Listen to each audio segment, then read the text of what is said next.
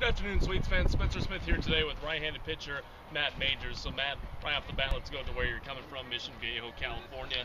This windy, cloudy, and sometimes rainy weather here in the Northwest. Not really what you're used to, huh? Yeah, it's actually in the 90s right now in Southern California.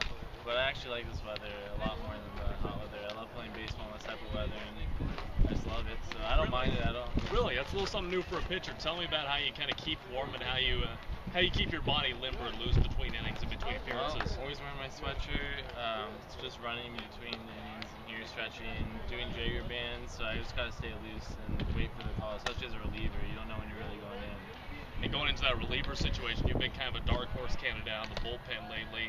Coming fresh out of high school, tell us about what's been working for you against these hitters, most of whom already have collegiate level experience in the ballgame. Yeah, I've I definitely learned a lot out here. It's definitely different throwing to these guys than high school guys, but these guys they can catch up to like a lot like any velocity really. So you got to be able to place your balls, uh, have movement on your balls, and be able, I'm not really striking out a lot of guys, but I'm getting them to ground out, pop out, and just get them out, which works. So just you got to be able to place the ball and have more movement.